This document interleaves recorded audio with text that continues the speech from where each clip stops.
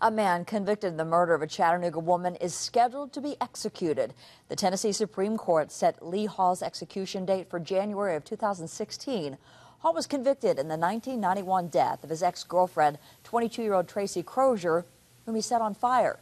The date is part of a push by the state to begin executing death row inmates again. Several dates have already been pushed back by a lawsuit challenging the secrecy of the state's new lethal injection procedures. The Tennessee Court of Appeals heard arguments in the case on Monday.